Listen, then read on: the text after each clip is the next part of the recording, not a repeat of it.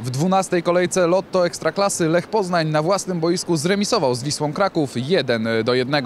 Kolejorz objął prowadzenie w drugiej połowie po indywidualnej akcji Darko Jewticza, który nie dał szansy Łukaszowi Załusce, no ale niestety trzy punkty uciekły w doliczonym czasie gry, gdy zupełnie bezradnego Matusza Putnockiego z bliska pokonał Paweł Brożek i tym samym mecz zakończył się podziałem punktów. Chyba tak, Kadia nie wiem czy do mnie zagrywa, ale nie wiem, no wybyłem to nogą, e, mieliśmy tam szczęście, ta dobitka, e, chłopaki to zblokowali i, i tyle.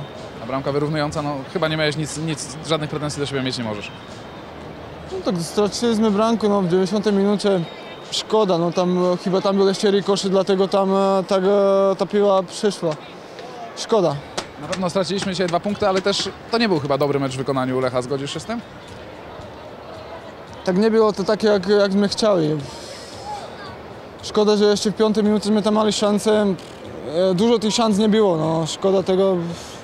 Szkoda, bo takie mecze e, mieliśmy, mieliśmy, ten mecz mieliśmy wygrać, bo szkoda, no te, te punkty nam brakują i ta celówka nam ucieka.